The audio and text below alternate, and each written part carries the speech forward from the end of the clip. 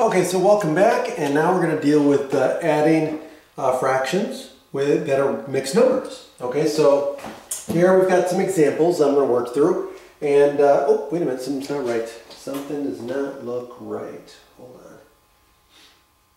on. Um, hold on.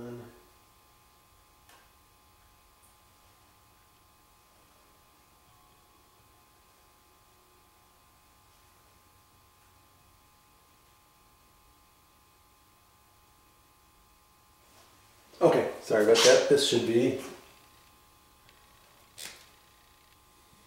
fifth. Okay, so what do we do with mixed numbers? Well, we change them to improper fractions. And so what do we get? We get what? We get 11 fifths plus 18 fifths. And now all we do is, so we've got a common denominator, so now all we do is add across the top and keep the bottom. So this is going to give us uh, 29 fifths, right? And then we change this to a mixed number, which is going to be um, 5 and 4 fifths. What about the next one?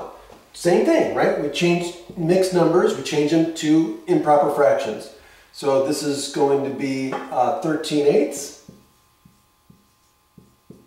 plus uh, 24 plus 7 is 31, so 31 eighths. And so we, again, common denominator, so we add across the bottom, uh, excuse me, add across the top and keep the bottom. So this is going to give us 44, right?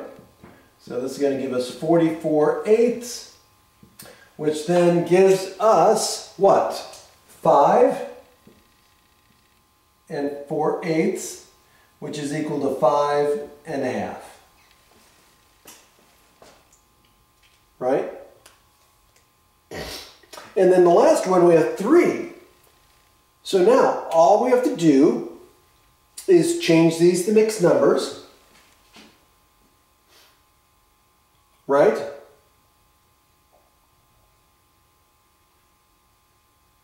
Yeah, you know what? I'm going to show you another way to do this because you don't necessarily have to change them to mixed numbers. We, because remember, remember what this means. This means 4 plus a sixth plus 2 plus 5 sixths plus 3 plus 5 sixths. Now, remember, addition is commutative. So I can move these all around. So what I can do is I can add the 4, the 2, and the 3, right? Well, the 4 and the 2 and the 3 give me 9, right? And then what does the, the, the fractions give me? Well, this gives me 1 plus 5 plus 5, which gives me 11, right? So plus 11 sixths. Well, 11 sixths is equal to what? So now I can go ahead and, and I can write this as 9. Well, what's 11? 11, 11 sixths is 1 and 5 sixths. Right? So then again, this is just a this is just a plus, right? So I can write this as 1 plus 5, 6, and so the answer is 10 and 5, 6. I can do it that way too. Okay? So when you're adding mixed numbers, you don't necessarily have to change them to mixed to uh, to an improper to improper fractions. You just remember to add the whole numbers, add the fractional parts, and then if the fractional part sums up to an improper fraction, then change it to a mixed number and do it again. Add the whole parts and you're done.